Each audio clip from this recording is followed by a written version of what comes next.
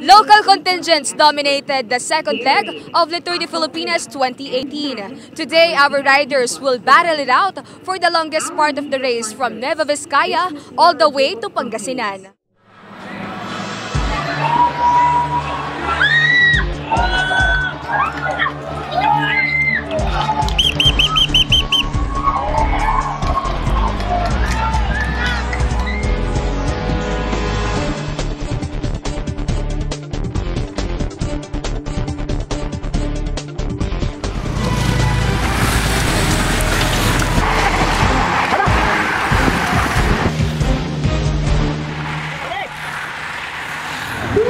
After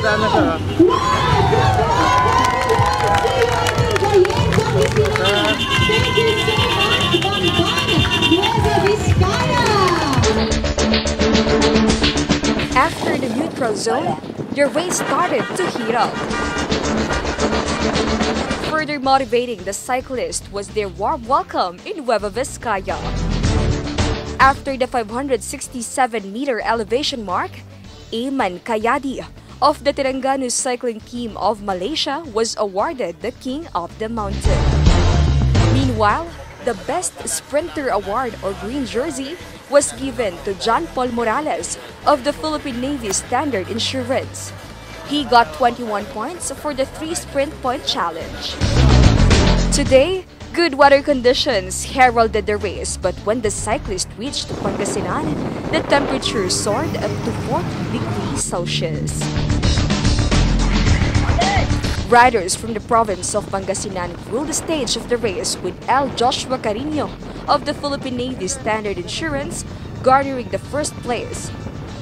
Meanwhile, his brother Daniel Ven Cariño of 7-Eleven Road Bike Philippines, who also won the Best Young Rider Award for this stage, got the second place. Mervin Cruz of the Philippine National Team placed third. History was made after this race. Brothers from different teams snatched the first and second place with a home court advantage. Pagdating po dito sa Santa Barbara, mga last 30 kilometers, yun po, ah, sa, sa, na nag-usap kami ni Kuya na inaya niya ako na na gumawa kami ng panibagong break. So yun, hindi kami na nakalamang kami ng mga ilang minuto. So yun, tinuloy-tuloy na namin. Tapos napakalaking advantage sa amin din po kasi hometown po yung Pangasinan. napakasaya po kasi first time. Tapos dream come true na matagal namin to kasi may mga pang- may mga idol kami na European na magkapatid. Yun yung in-idol namin na sana kaming magkapatid ganun din na manalo.